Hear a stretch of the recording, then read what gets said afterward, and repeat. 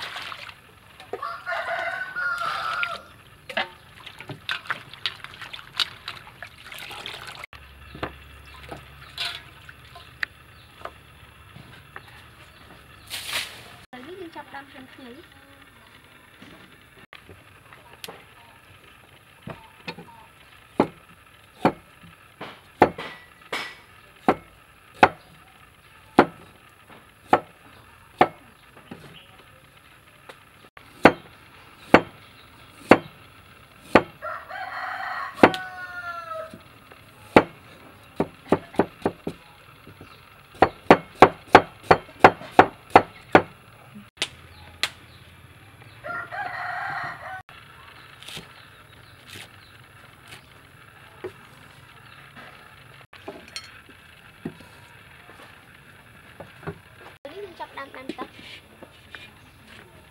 យើងចាប់ផ្ដើមដាំទឹក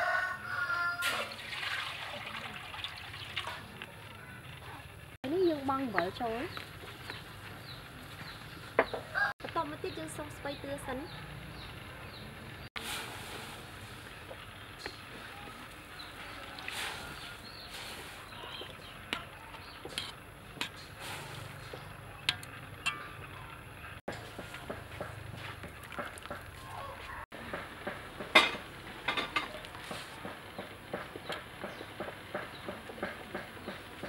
បន្តមកទៀតយើងស្ងោរសាច់ជ្រូក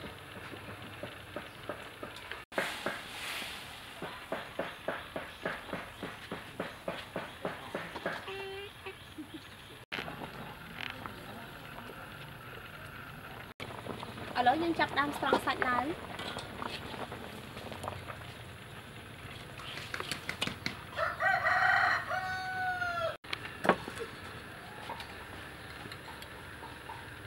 ឥឡូវនេះយើងចាប់ផ្ដើមចាក់ស្បែកជ្រូកសិន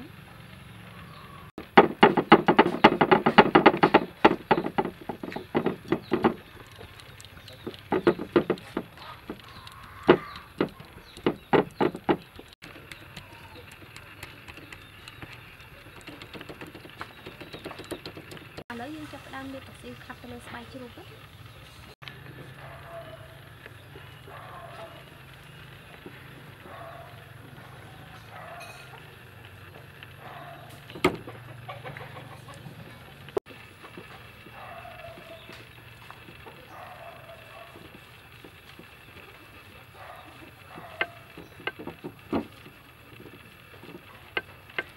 ឥឡូវនេះយើងចាប់ផ្ដើមបំពងសាច់ជ្រូកសិន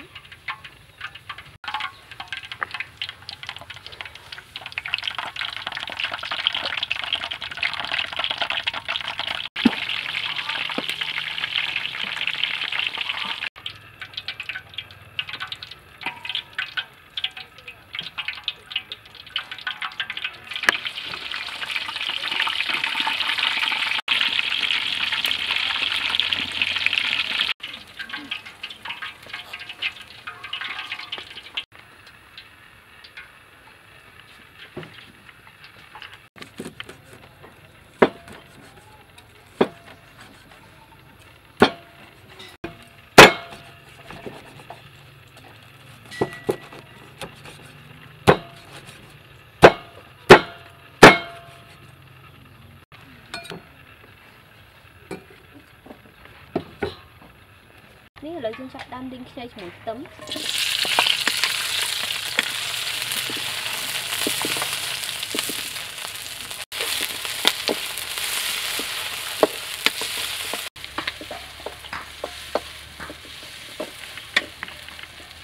បន្ទាប់មកទៀតយើងដាក់សាច់បីជាន់ចូល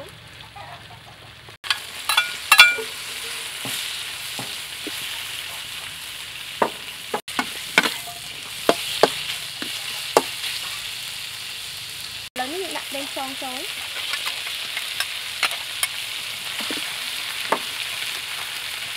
ទឹកត្រីទឹកឆ្អ៊ីម្សៅស៊ុបស្ករស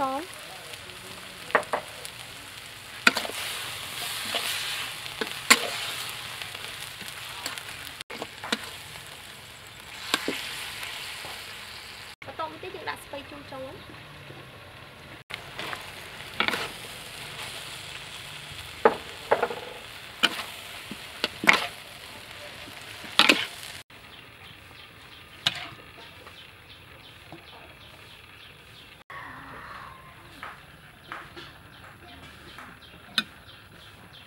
ឥឡូវយើងយកវាមកដាក់ចំហុយសិននេះ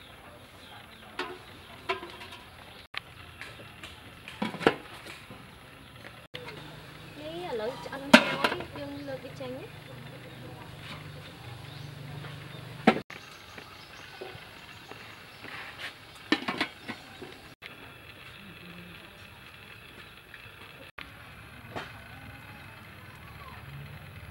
ឥឡូវនេះសាច់ជ្រូកចំហុយជាមួយស្ពៃជូររបស់យើងបានឆ្អិនរួចរាល់ហើយនេះឥឡូវ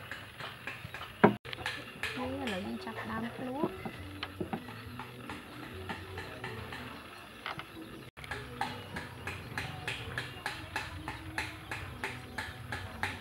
អឺឆ្ងាញ់មែនទែន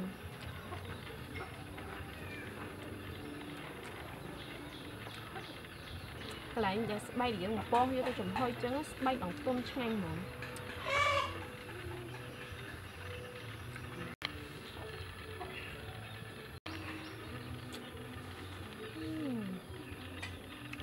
May.